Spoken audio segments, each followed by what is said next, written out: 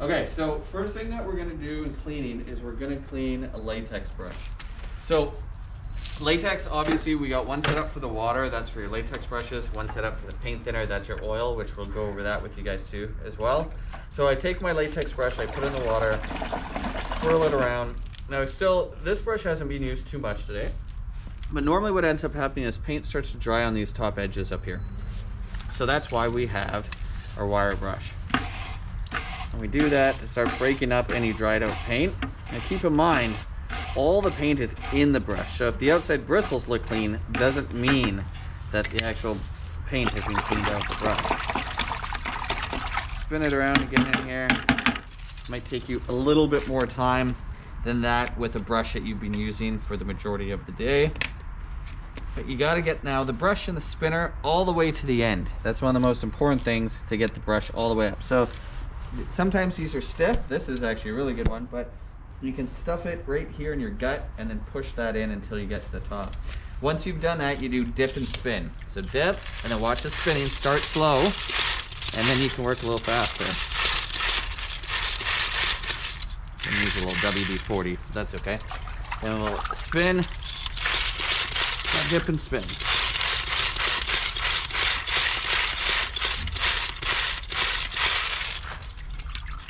One thing you can do is carry a small bottle of WD-40 in your crew kit, and then you can spray it down the gunnel here to lubricate it, make it spin a little bit easier. help out. And again, dip and spin. Now, what we're looking for is making sure that all the paint is out from inside the bristles. So in this case, I'll do one more dip and spin. You usually do with latex and water about four to five.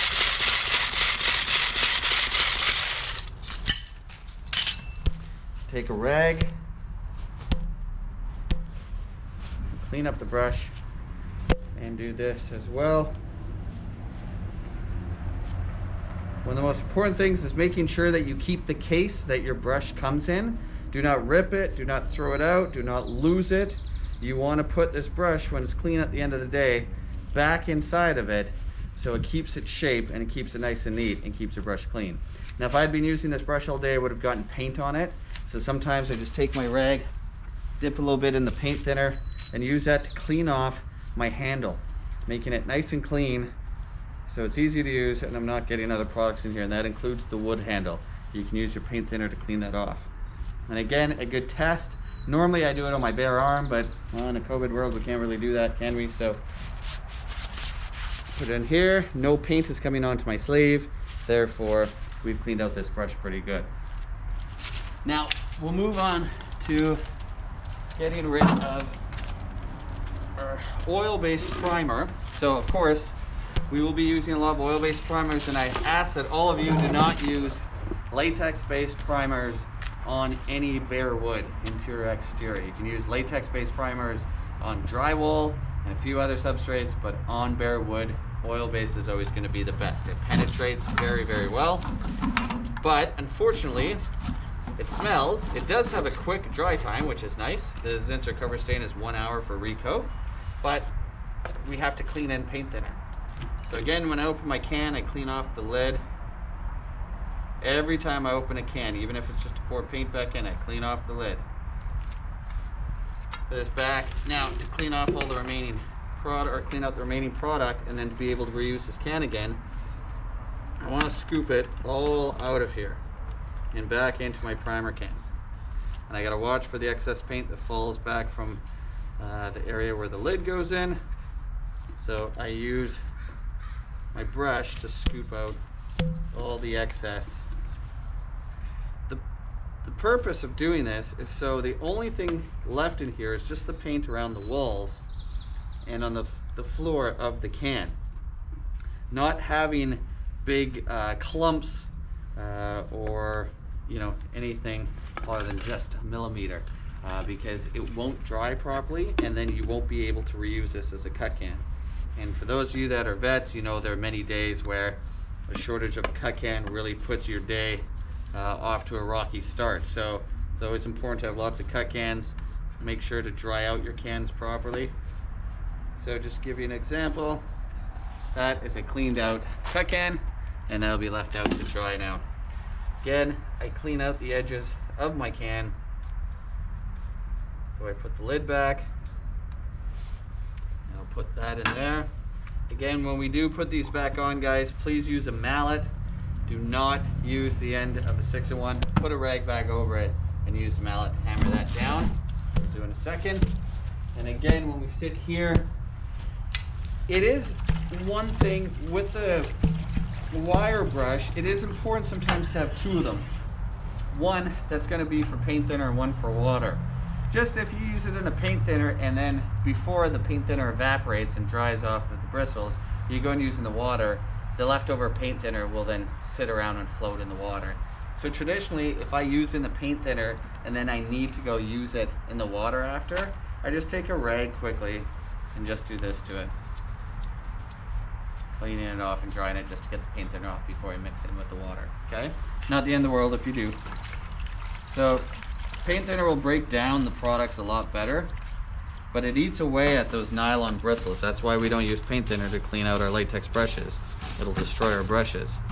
But oil-based brushes are of course uh, real hair. They're uh, not my hair, uh, hog hair or horse hair. Um, and they'll say uh, uh, natural bristles or something like that.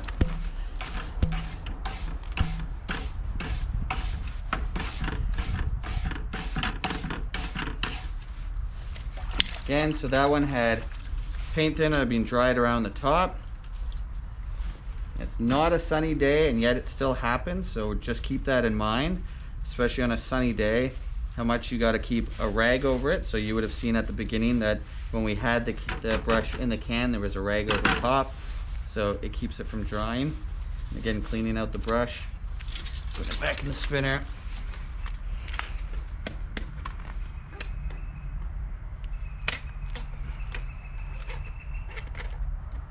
Of course, I'm not gonna get that in that way. Yep. Okay, back in, dip and spin. Paint thinner obviously does a better job than water, so you only need to dip and spin a couple times. To avoid your spinner from just doing this, like I said earlier, just set some WD-40 spray it down there. It'll make a world of difference. This is a good spinner.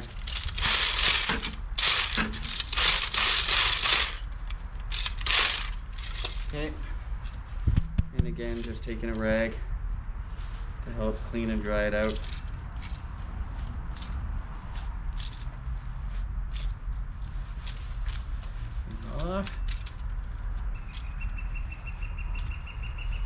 There you go. Now, one of the main things too with your cleaning station should be separate from your crew kit. If you want to show them the crew kit there. So the cleaning station is separate. Uh, we want to make sure we got lots of space in case there's any splatter just to get onto the tarp. Um, we also want to make sure lids are marked as well as the containers that they're in.